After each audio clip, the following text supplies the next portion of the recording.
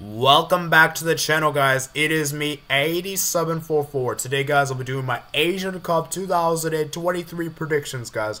I want to know your guys' predictions in the comments below, guys, and we're going to go ahead and get started. Now, before we get started, though, I do want to make some announcements real quick. So, this is just my predictions, guys. This is just my opinion.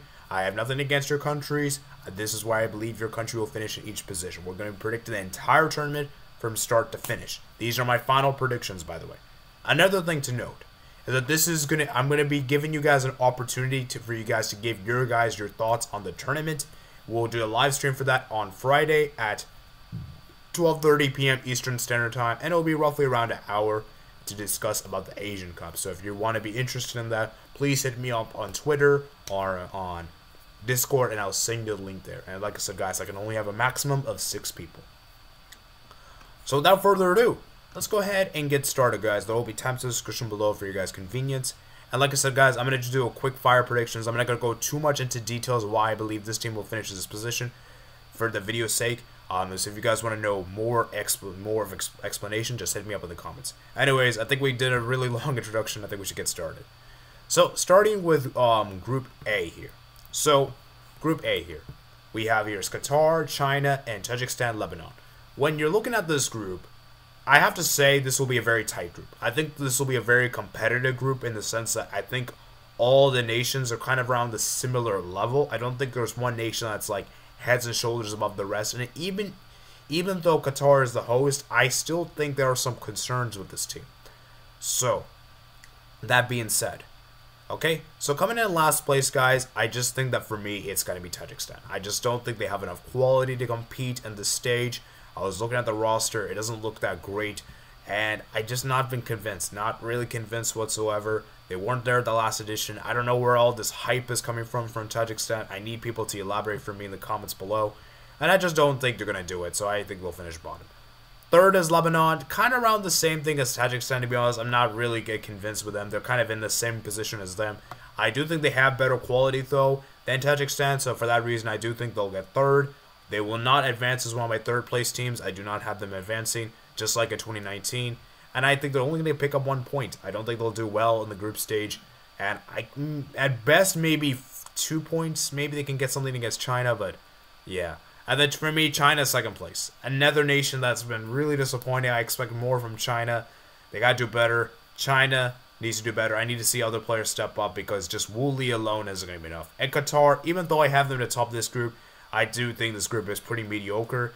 And let's be real, I do think Qatar lucked out with the draw. If they were in any other group, I don't know if that would have probably I wouldn't be as confident first place. So this is my quick roll overview for those I missed it. Moving to Group B. Now this group is actually pretty interesting. I think this group for me is very, very interesting. Let's just get the obvious out of the way. Australia will for sure top this group. That's 100% guarantee. They did really well in the World Cup 2022. They defied their odds and even progressed from a group that a lot of people didn't fancy them. Even people had Tunisia over Australia. I think Tunisia were more picked to advance over Australia in that group. So for the fact for the fact that Australia actually managed to do it is quite commendable. Now, this is where things get very tricky for that second and fourth. I'm going to go second place as I'm to go with Uzbekistan. Uzbekistan for me are really solid. I think they have this amazing striker, um, the amazing striker partnership. I'll probably put it up a screen here for you guys and I think that guy has been incredible. I think it's like Sumotov, um, probably something like that. I'm probably butchering his name. I apologize if I do. That guy's been in fire, and I think Uzbekistan have a really good attack. Third, it's going to be Syria. I think Syria, for me, are kind of not that great. Uh, they haven't really been great ever since the 2018 World Cup qualifiers, where they agony lost to um, Australia. And I just feel like for me, Syria just don't really do well in Asian Cups, and I just don't think they'll do it.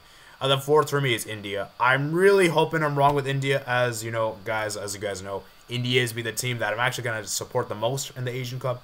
You know, because I do have some origins from India, even though I'm actually Bangladeshi. Um, this is like the closest neighboring country to India, so you know, I do hope they do well, but I'll be honest with you, I don't really think they'll do well. I just think for me, India, for me, the big issue I have with this team is their attack. I just don't think their attack is good enough, and I think they're going to struggle in this group. So this is my predictions laid out here nicely. Moving on to Group C. Group C for me, it's a very interesting. I think for me, the worst group, uh, worst nation in this group is definitely Hong Kong. I hope they can do well though. I believe this is the first time they competed since I think No, I think it's the first time they've ever competed in their history. I think it's the first time they've ever competed. So this will be a huge, huge achievement for them. But yeah, they're gonna finish bottom. Um, and by the way, I don't think Syria will advance as one of the third place teams. Sorry to say, I forgot to mention that earlier. Third place I have in this group is going to be Palestine. I think Palestine for me are really solid. I like to make up this team. And I think they should be able to do it. Um, and they'll get the job done. Second place I have is UAE. Um, they have that really good striker, Ali Mabkhout, of course. And I like the UAE team. I think the UAE team is definitely on the rise. And um, look out for UAE, man. And then Iran for me should top this group. These I would be surprised if Iran don't top this group. So this is my predictions. And yes, I do believe Palestine will be one of the best third place teams to advance. I put it in bold. Group D. Wow, this might be one of the most competitive groups in the Asian Cup and might be the best group. Obviously, let's just get this one out of the way. Japan will for sure top this group. That's pretty obvious. Second place, I'm going to go with Iraq. Iraq, for me, are a really solid nation. I really, really like what Iraq does. Iraq always do well in these kind of tournaments, you know, go to the quarterfinals. And, you know, I think Iraq could honestly maybe get to a semis. Now, do I think they have what it takes for a final? Eh, that's going to be difficult. But Iraq is definitely solid. Vietnam, for me, I'm going to put them third. I'm not really been impressed with Vietnam. Not really been impressed with the new coach coming in. I feel like for me, Vietnam, for me, they need to improve their attack. The attack doesn't look great. I think the defense has been solid, but their attack needs to improve. And Indonesia, even though I have them finish fourth, I think they'll make this group very competitive. And I think they'll they're gonna put some fights. They're not gonna go out there like and bow out. They're gonna they're gonna give some respectable showings, and I think they could do something in this group. But yeah, I do think they'll finish fourth, and I do think Vietnam will just about progress as one of the best third place teams. Group E, Korea Republic should be able to top this group with ease. Now, second place where things get very interesting because I think we could see an upset happen in this group because I'm going to go with Bahrain to finish second place. I think Bahrain, for me, are pretty good defensively. I think they're well organized defensively. And that's the key in these kind of tournaments. To have defensive structure and defensive uh, stability allows you to do well. So I think Bahrain will do it. Third, this might surprise a lot of people. I think Malaysia is going to do something. I think Malaysia is going to do something. I wasn't really impressed with Jordan. I think Jordan, for me, have kind of regressed ever since that 2019 Asian Cup. And kudos to them. They actually topped the group with Australia. I just think Jordan, for me, are going in a downward trajectory. And I think Malaysia is on the rise. So I'm going to go Malaysia just about get third. And I do think they'll progress as one of the best third place teams. And I think Jordan will unfortunately finish last at this one. So this will be very close, so very competitive. And I think the second place one is very wide open for sure. And then finally, the last group I have is Group F. I have here, obviously, Saudi Arabia will top this group with ease. Oman should be able to get second place with their defensive structure and solidarity. And then third, I'm going to go with Kyrgyzstan Republic, and I'm going to go with fourth, Thailand. I think Kyrgyzstan Republic have more in their firepowers, and I think Thailand, for me, are, I don't know, I don't think they have enough quality for me to do this. So I'm going to go with them to finish bottom. Now, let's do a quick fire knockout stage prediction. So Kyrgyzstan I have is one of the best third place teams. So quick fire. So I got China versus UAE.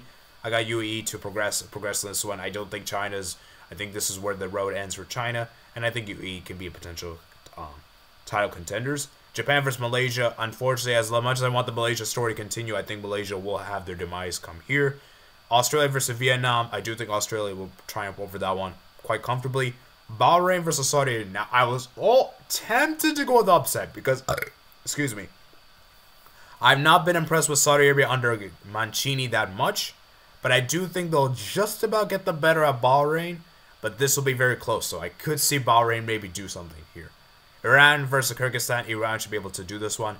South Korea versus Iraq. Unfortunately, this is where I think the road ends for Iraq. This is a very tough draw for them, and I think this is where it ends. Qatar versus Palestine. I think Qatar beat wins that one just about, and I think Oman versus Uzbekistan. I do think Oman pulls through on that one um, with their defensive, um, with how good they are defensively. Moving to the quarterfinals, I have UAE versus Japan. I think Japan triumphs over that one. Australia versus Saudi Arabia. I'm going to go with Australia to win that one. Um, I think from I think for me, Australia is more organized than Saudi. Iran versus South Korea. I'm going to go South Korea to win that one, and then Qatar versus Oman. I'm going to go Oman to actually shock the host there and to eliminate Qatar in the in the tournament. And then for the semifinals, I have Japan versus Australia. Japan to win that one, and South Korea versus Oman. I have South Korea to win that one. Unfortunately, Oman train ends.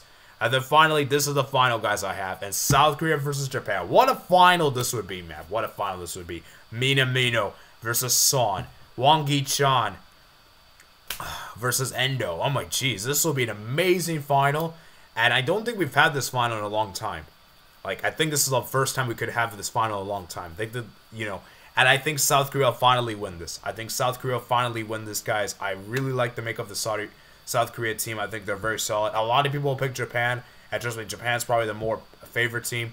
But I'm going to go South Korea to pull through. I think South Korea will do it, guys. And I think they'll do it just about. So, hope you guys did enjoy this predictions. A quick fire predictions around 10 minutes-ish.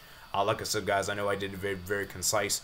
Um, and so, like I said, guys, um, feel free to ask me in the comments if you have any questions about my predictions. Let me know your predictions as well. And if you guys did enjoy, please remember to hit that like button, hit the subscribe button down below, guys. Really helps the channel grow and helps algorithm. Hope you guys enjoy. And yeah, I'll see you guys later. Peace out.